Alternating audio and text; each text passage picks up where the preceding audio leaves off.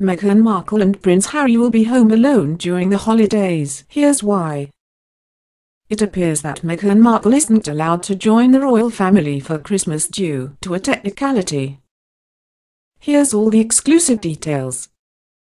Based on all the rumors surrounding Prince Harry, 33, and Meghan Markle, 36, fans are anxiously awaiting an engagement announcement so it's only natural to assume that the stunning actress will be joining Harry and his family for the holidays, right?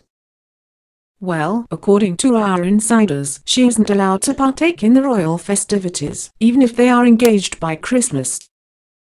It appears, according to tradition, only married couples can attend. Head here to take a look back at Harry and Meghan's courtship. Harry and Meghan's Christmas plans are up in the air at the moment. Harry always spends Christmas with the Queen and the rest of his family at Sandringham, but only married partners are permitted to attend the festivities, so Meghan isn't invited, a source tells Hollywood Life. Come exclusively. Even Kate Middleton didn't go when she was engaged to Prince William, she spent Christmas with her family instead. But Meghan hasn't got any family here in the UK, so she would be left on her own if Harry attended.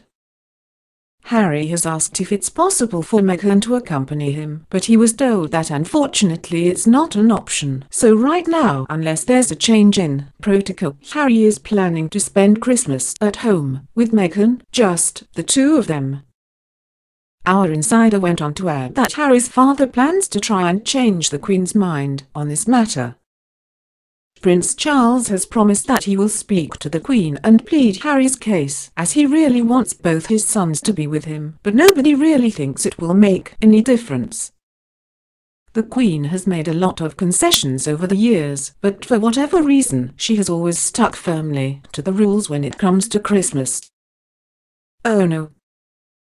Here's hoping Charles can change her mind. Hollywood lifers, are you hoping that the Queen allows Meghan to join them despite not being married? Let us know below.